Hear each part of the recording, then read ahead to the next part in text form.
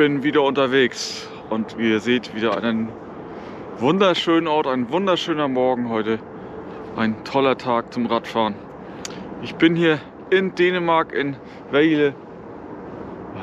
Leute, es ist einfach nur herrlich. Endlich Frühling. Zwar jetzt noch 0 Grad, aber es soll ja noch ordentlich warm werden heute. Schaut euch das an. Strahlender Sonnenschein. Wunderbar zum Radfahren heute. Ja, Welje, da bin ich ja schon öfters gewesen hier in Dänemark. Es ist einfach ein traumhafter Ort. Ein super Ort zum Starten für mich. Ja, hier gibt es auch ein paar Hügel, die man natürlich auch mal ein bisschen sportlicher nehmen kann. Einfach nur eine herrliche Gegend hier. Auch die Stadt ist echt toll.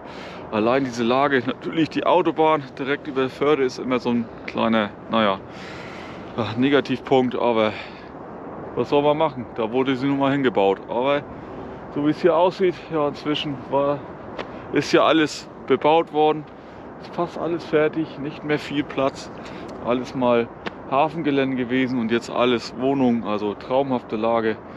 Ja, Dänemark finde ich ist auch wieder sehr modern, wenn man sich das anschaut. Das gefällt mir auch immer sehr gut. Deswegen bin ich auch sehr gerne hier. Natürlich auch die tolle Gegend und auch die tollen Radwege, die es hier gibt. Und heute werde ich auch wieder eine richtig, eine richtig schöne Tour fahren, eine selbstgeplante, denn ich will heute Richtung Billund fahren.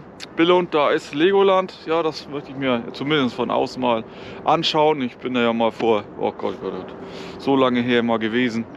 Ja, da hat sich bestimmt auch wieder einiges geändert. Ja, und dann wieder hier zurück. Also eine 85 Kilometer Tour. Da sind auch einige Highlights mehr, schöne Landschaften, Seen, tolle Flüsse, ah, was es in Dänemark halt so gibt, ach, das will ich mir heute wieder anschauen. Also ich hoffe wieder auf sehr, sehr schöne Bilder. Allein dieser Morgen ist wieder traumhaft. Also dann wünsche ich viel Spaß dabei.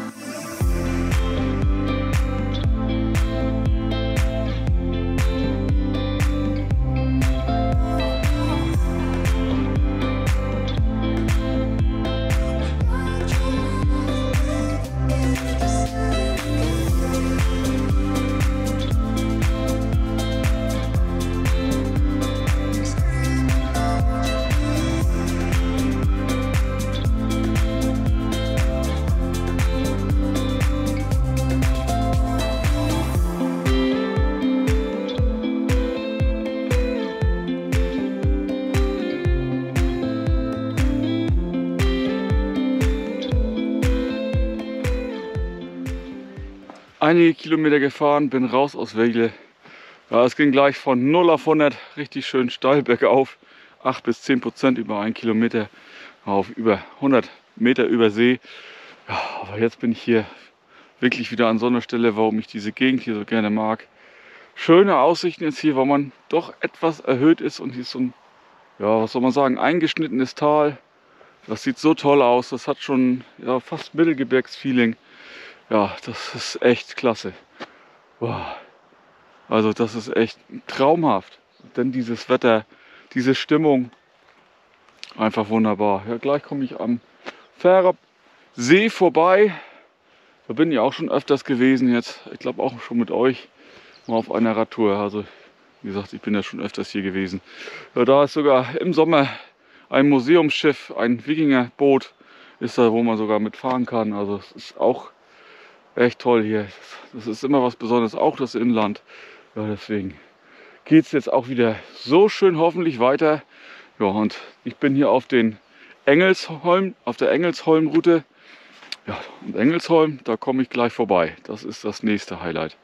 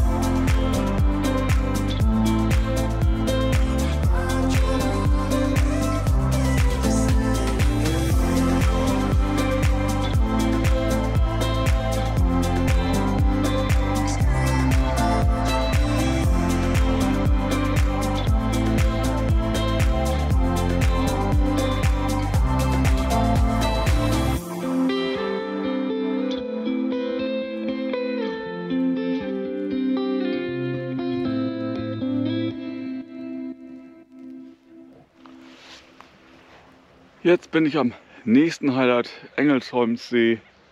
War auch wieder super gelegen. So, sieht natürlich toll aus bei dem Wetter. Da oben, ja, da ist die Kirche von Nürrup. So richtig erhoben darüber. Also sieht richtig klasse aus. Aber das ist hier aber nicht das Highlight. Das ist nämlich hinter mir.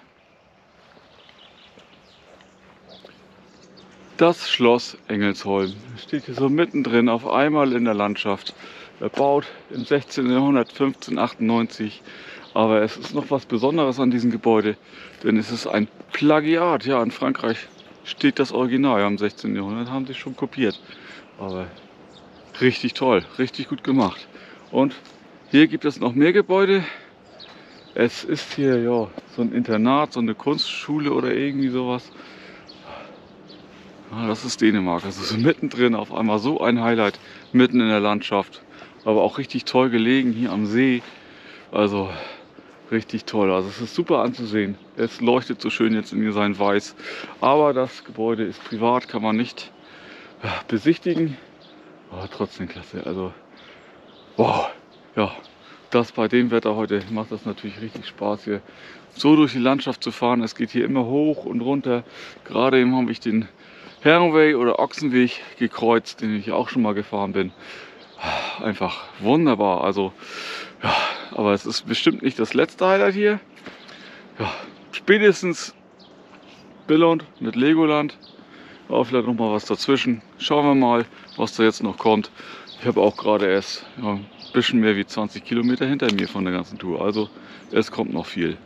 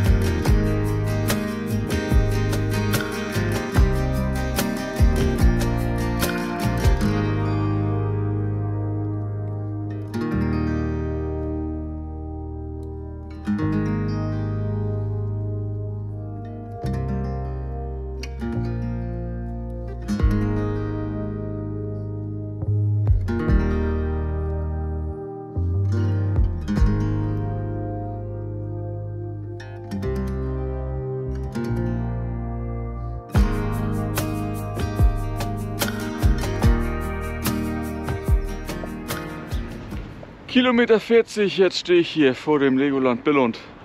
Aber es ist noch geschlossen, es ist noch Winterpause. Bald öffnet das, denn Ostern ist ja auch gar nicht mehr so weit. Ist doch schön, wenn hier noch nicht so viel los ist, kann man es hier noch mal ein bisschen anschauen. Zumindest von außen. Da drin bin ich auch schon mal gewesen, aber das ist wirklich schon sehr, sehr lange her. Aber sehr interessant. Ist halt auch anders hier wieder, wie zum Beispiel der in Günzburg in Deutschland. Aber naja, komisch ist es, hier zu stehen. Denn gerade eben im Spaßbad, was da gerade eben war, hier gibt es ja anscheinend kein Corona mehr, kommen alle so ohne Maske raus, ohne irgendwas. Hier steht auch gar nichts mehr, irgendwie Hinweise, ja, Abstand halten oder irgendwas. Ne, alles ist hier vorbei. Ja, es ist sehr komisch. Das kommt auch langsam auf uns zu. Ob man da jetzt, jetzt gleich die Maske runterreißt oder, naja, das wird man sehen. Aber ich werde das jetzt hier in dem Stillen hier noch mal ein bisschen genießen. Mal gucken, was hier noch so im Billund los ist, denn ja, die Strecke gerade eben hat man es schon gehört. Im Hintergrund hört man es vielleicht auch noch so leicht. Hier ist ja auch noch ein riesen Flughafen. Das ist der zweitgrößte in Dänemark. Ja, von uns aus ist manchmal sogar hier besser loszufliegen als von Hamburg aus. Ja, hier kann man in alle Welt schon kommen, in diesen kleinen Ort. Eigentlich gibt es hier gar nicht viel, der Ort ist gar nicht so groß. Halt, Legoland ist hier, dadurch natürlich auch vieles andere noch angesiedelt und ein riesen Flughafen mitten, mittendrin in Dänemark. Eigentlich gibt es hier keine großen Städte, aber naja, werden wir mal schauen, wie es jetzt weitergeht. Ich gucke mir das hier noch so ein bisschen an. So, und dann geht es ein bisschen weiter. Ich habe ja erst 40 Kilometer. Aber ich brauche gerade erst 11. Ich hoffe, vielleicht gleich mal eine kleine Pause. Schau ich mal.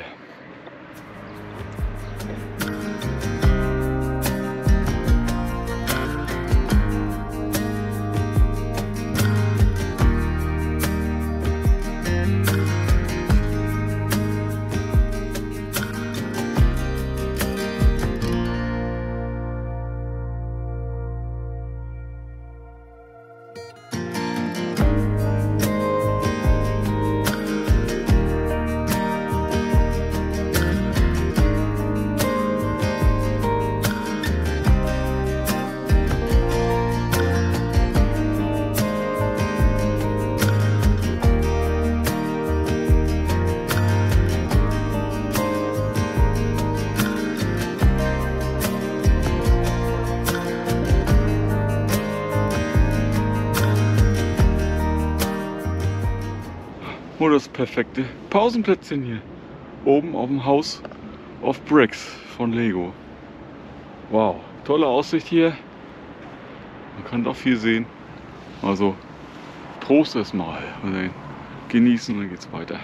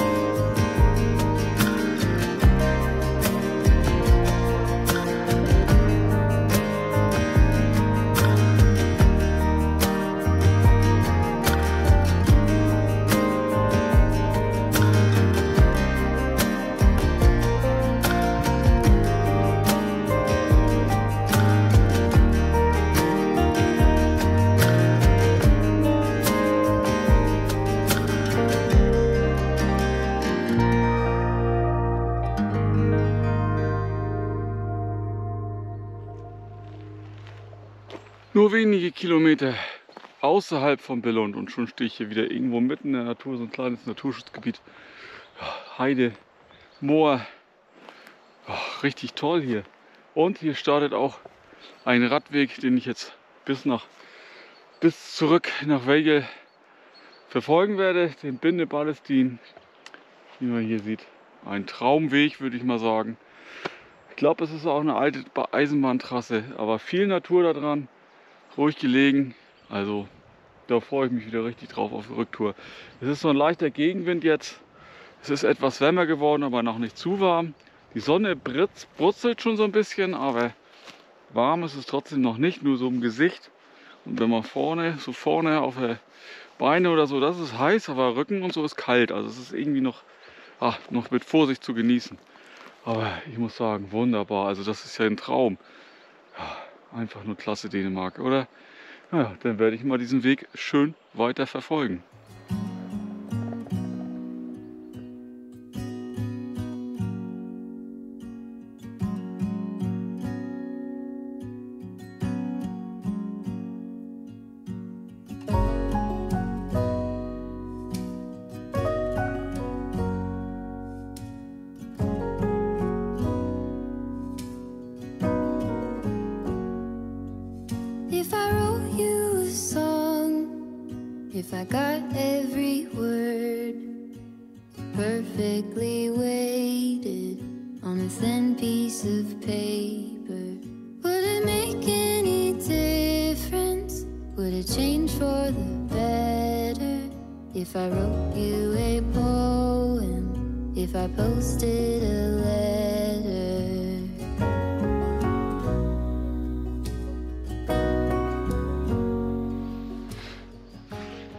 Stehe jetzt hier mitten im Wald und auf einmal ist hier eine Hütte. Ja, ich sehe das grüne Schild. Ich denke, das ist bestimmt was Offizielles. Ja, es ist eine Rasthütte. Sogar nicht mal eine kleine. Ich gehe mal rein. Also, wow. Ein Riesenraum hier. Kamin. Boilerofen hier. Wow, Holz wird hier auch gestellt.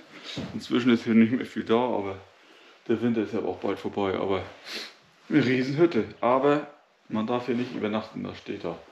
So viel Dänisch versteht man dann auch. Aber so mitten im Wald, auf einmal so eine Hütte. Draußen ist dann noch so ein Lagerfeuerplatz. Also wie das die Dänen immer so haben. Richtig toll, in der Natur zu sein. Hier wird alles gemacht dafür. Wunderbar, ja, weiter geht's. Jetzt erstmal ja, Richtung Osten, erstmal mal sehen, was dann wieder kommt. If I posted a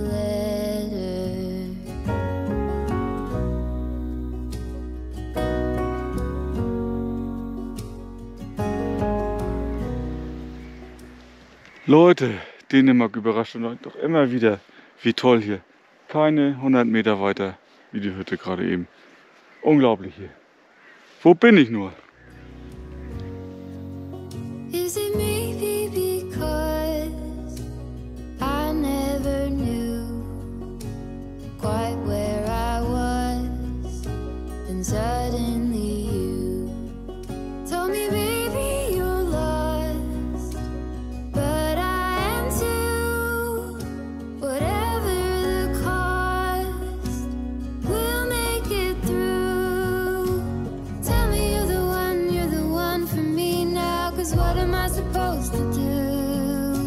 If you are not the one, not the one for me, then tell me now what I could do.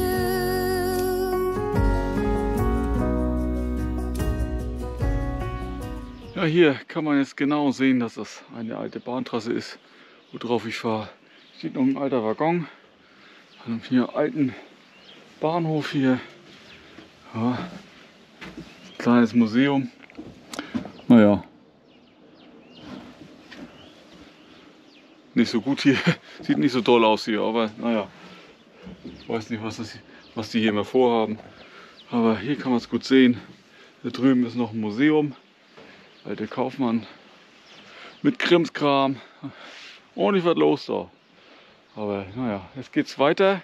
Aber nur ein Stück und dann mache ich einen kleinen Schlenker, um ja nochmal ein bisschen mehr ja, Schönheiten mitzukriegen, ein bisschen oben drauf, dass man ein bisschen wieder Aussicht hat, sonst fährt man hier gleich wieder nur im Tal zurück. Also eine kleine Verlängerungsschleife habe ich hier mit eingeplant, um immer noch richtig tolle Landschaften hier noch mehr zu sehen. Bis jetzt war der Weg hier, diese Bindeballe Steen, der war ja wow. Also ich muss sagen, also fünf Sterne meist. Das ist echt eine tolle Gegend.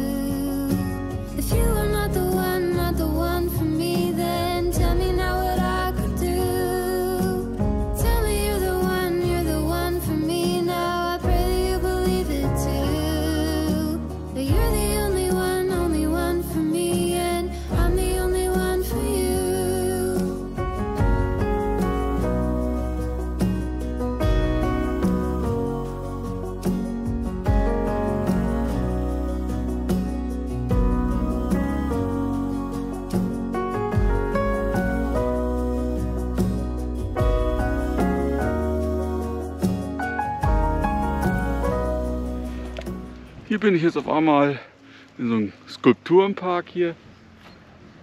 Witzig. Aber ich glaube, das ist alles aus Metall. Sieht sehr merkwürdig aus hier alles. Ja, kann ich sagen, was alles zu bedeuten hat. Aber ich glaube, ein neues Highlight oder ein besseres Highlight folgt sofort. Da gehe ich jetzt sofort hin.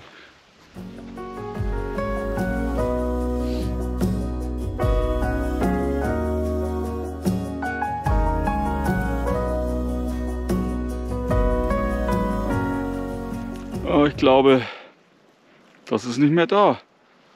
Oder doch? Ne, ist hier. Natürlich ist es jetzt nicht hier ja, die Kunst da vorne, sondern nämlich hier die wunderschöne Aussicht. Leute, was für ein Tal hier. Der Fluss hat sich hier so schön eingegraben. Alter, das ist richtig gebirgig. Ich weiß nicht, ob es so rüberkommt, aber es ist einfach, einfach grandios.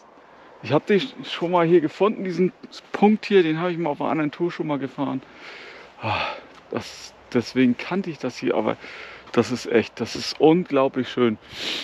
Ja, wenn es ein bisschen grüner wäre, natürlich noch mehr, oder wenn es ein bisschen ja, frühlingshafter, ein bisschen ja, so ein sattes, helles Grün wäre, ah, das wäre natürlich perfekt. Aber auch jetzt traumhaft mit dieser Sonne. Hier ist auch immer so ein Wanderweg entlang. Da kann man immer Flussfolgen hier. Wow, einfach nur grandios. Also das ist nochmal ein perfektes Plätzchen für eine Pause, würde ich sagen. Um das hier nochmal zu genießen. Also ich sag euch, grandios. Und der Bille Ballestin, der ist da hinten, sieht man natürlich jetzt nicht so. Der führt die ganze Zeit noch am Fluss entlang. Oh, bis, ja, bis zurück. Das sind aber noch 20 Kilometer. Also, ich habe noch was vor. Und das ist auch noch nicht das letzte Highlight, würde ich sagen. Naja, Pause und dann geht's weiter. Richtig schön genießen hier.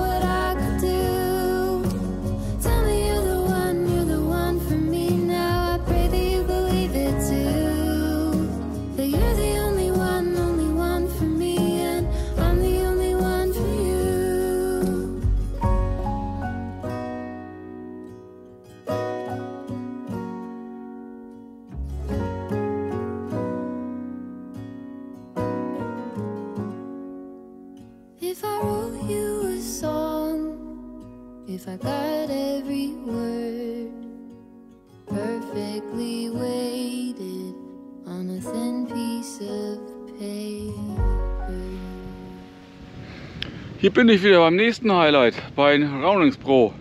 Ja, das ist eine alte Brücke. Man sieht ja nur noch den Nachbau, aber wo der Damm hier ist, da war die früher. Ja, die wurde gebaut 980 nach Christi vom König Bluetooth. Ja, König Blauzahn, genauer gesagt.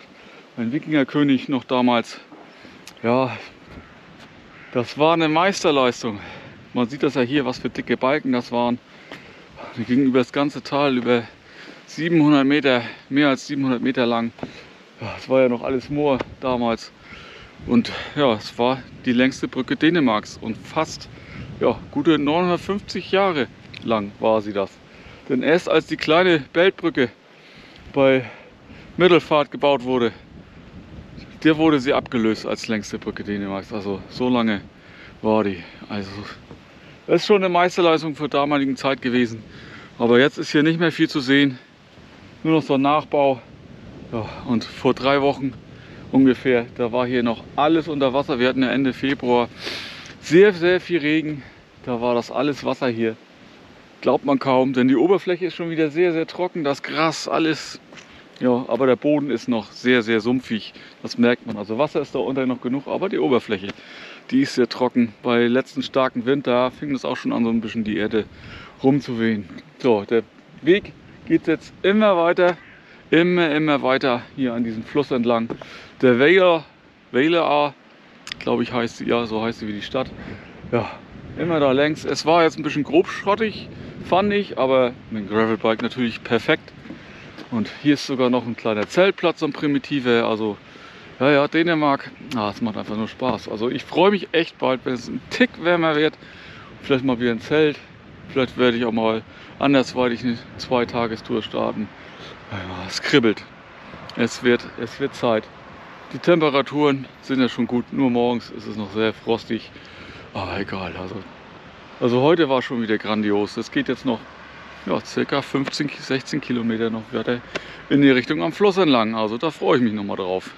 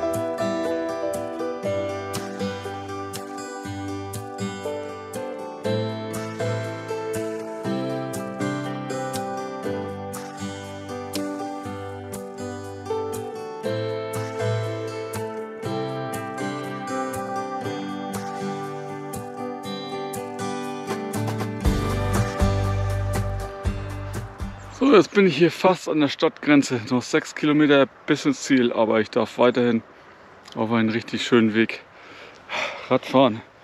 Den hier.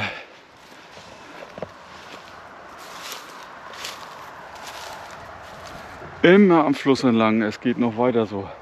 Wunderbar, aber es ist gleich zu Ende. Bald ist es geschafft.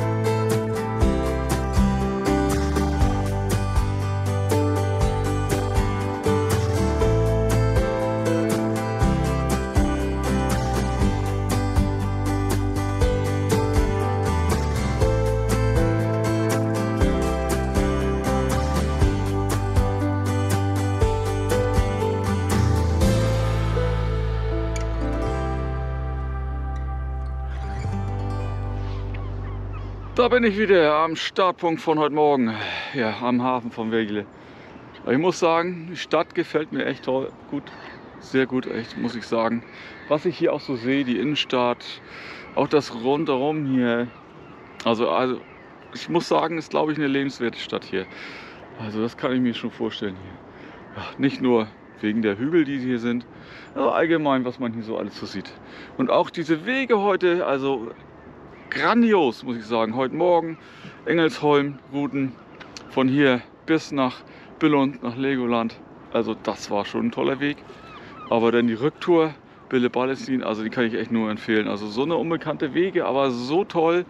Es hat richtig Spaß gebracht, auch mal eine Schleife noch da oben hin, dass ich den Ausblick da noch genießen konnte. Also grandios. 88 Kilometer, 87, 88 Kilometer sind es geworden. Wunderbare Kilometer, ich kann nur sagen, richtig schöner Tag. Also Dänemark hat mich wieder sehr angenehm hier überrascht. Ja, es gibt nicht immer nur Ostsee. Ja, der Rest ist auch ganz toll. Also da habe ich noch viele, viele, viele, viele Stellen, die ich euch auch noch mal zeigen möchte. So eine Radwege wie heute. Eintagestour, Zweitagestouren. Ja.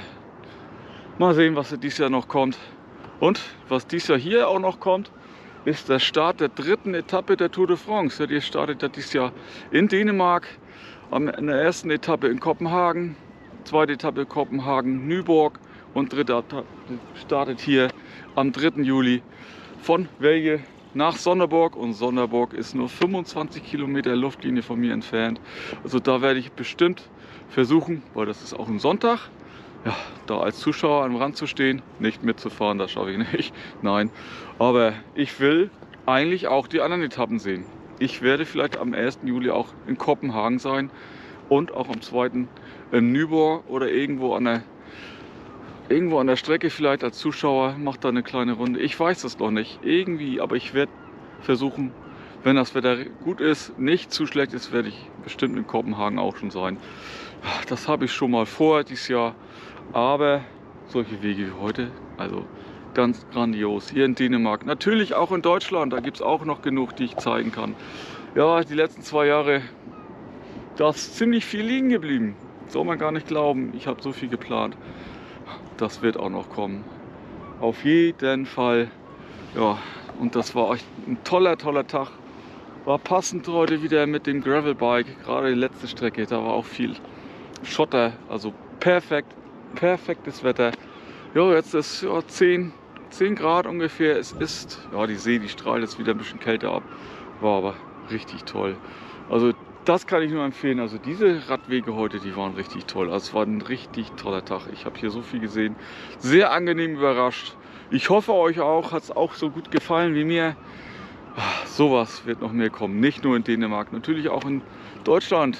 Irgendwo werde ich wieder auftauchen und rumfahren. Es ist doch erst der Anfang der Saison. Also, ich hoffe, es hat dann gefallen heute. Denn bis zum nächsten Mal und danke fürs Anschauen. Moin, moin.